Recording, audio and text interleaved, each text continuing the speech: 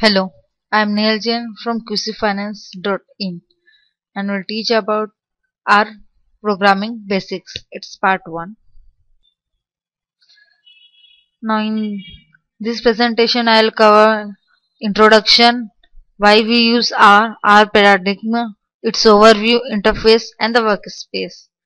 And the remaining topic will be covered in the next part of the R basics.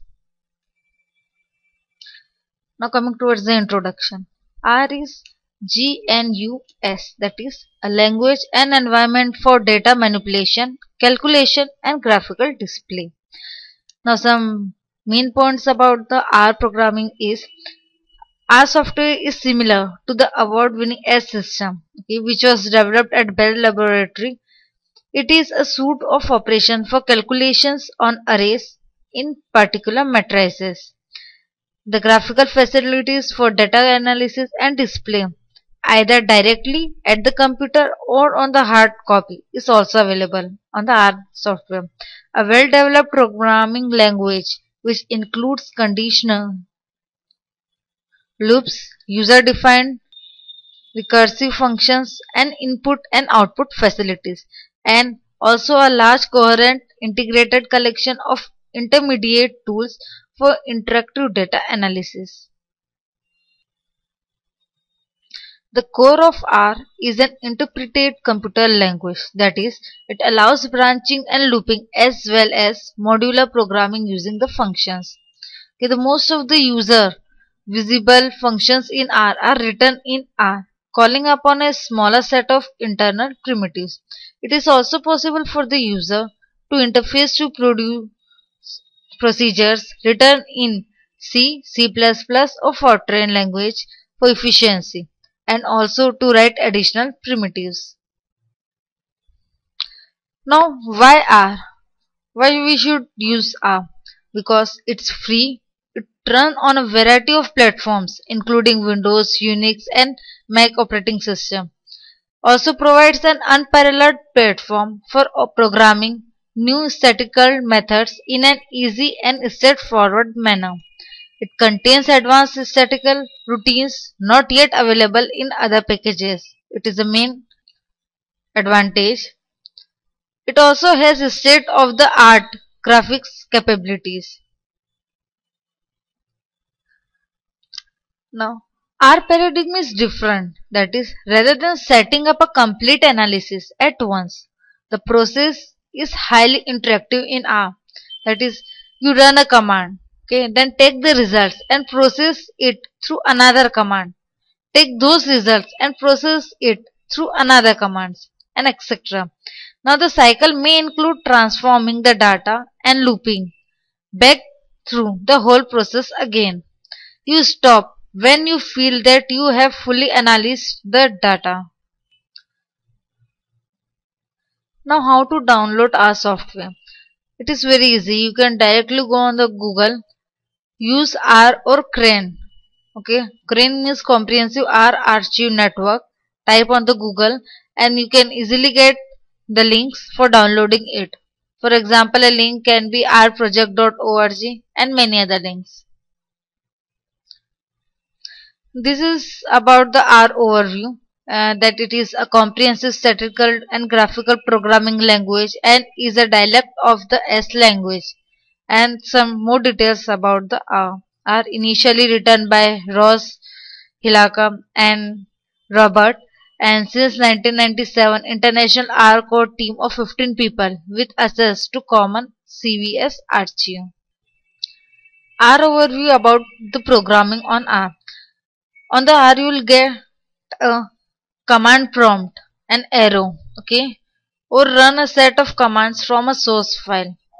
In the R there is a wide variety of data types including vectors matrices data frames and lists. And to queue R you can use Q and open braces.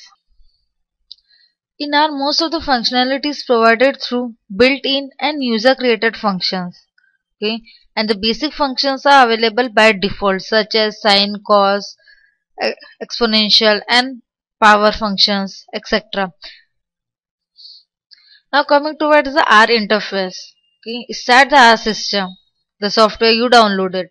The main window RGUI with a sub window R console will appear. In the R console window, you will type your commands. Let's see how. See, here I have R console window. On that I can type any command I want. Here Such as I have typed here x equal to sine of 9 divided by 75 and it is the value of x etc. Here is your first R session, the R console window under the RGUI desktop. Now coming towards our introduction. The results of the calculation that you performed can be stored in the objects using the assignment operators.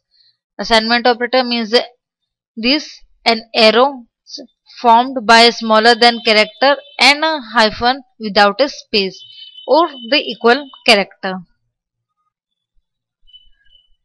Now these objects that you calculated can be used in the other calculation also.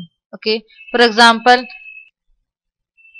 here on the R screen I have used a function x, x equal to sine of 9 by 75, another function y. And uh, the value of this can be can be used in the other function z okay? Z is equal to x plus y. I have used the value of x and y objects in the another object z okay? And for getting the output i'll simply type z on the next line and enter. So you'll get the answer for your calculation now, there are some restrictions when using an object name. Okay, the object name cannot contain strange symbols like exclamatory, addition, subtraction, hyphen, etc. Okay, a dot and an underscore are allowed. Also, a name starting with a dot is allowed. Okay. Now, object names can contain a number but cannot start with a number. You can write x1 but you cannot write 1x as the object name. Okay. R is also case sensitive means uppercase and lowercase means two different objects. Upper case x is a different object and lowercase x is a different object. Here is an example for suppose I in this example, I am creating a row vector named x, okay, from 1 to 10. x is x value will be from 1 to 10. In this row vector, I'll find out how many elements. These are my elements 1, 2, 3, 4, 5, 6. How many elements are greater than 10 and how many are less than 5. Okay. So the answer will be the elements that will be greater than 8 are only 9 and 10. So we will get all false and only 2 true 9 and 10 similarly for x less than 5 you will get the output as true and false. The elements that will be less than 5 will give true and other will give false. Okay? And when taking both the cases simultaneously using an OR operator you will get all the elements which are less than 5 as true and all the elements which are greater than 8 as true you can try this on R. Now to get all list of all the objects that you have used in your current session R, then you type the function is and the open bracket. Then you'll get name of the all the objects that you have used in your current session.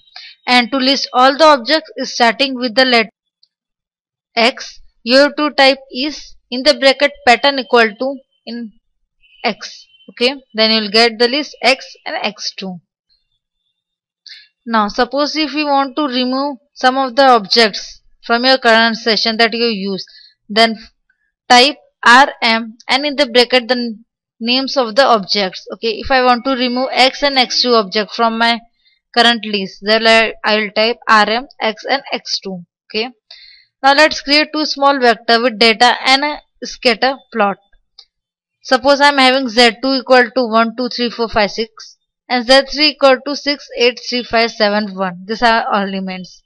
And plot Z2, comma Z3 and give the title my first scatter plot. This will type, this will plot a graph between Z2 and Z3 and give the name my first scatter plot. See here, I have I've got this plot of Z2 versus Z3 by plotting Z2 on the x-axis and Z3 on the y-axis and given the name my first scatter plot to this plot using these commands.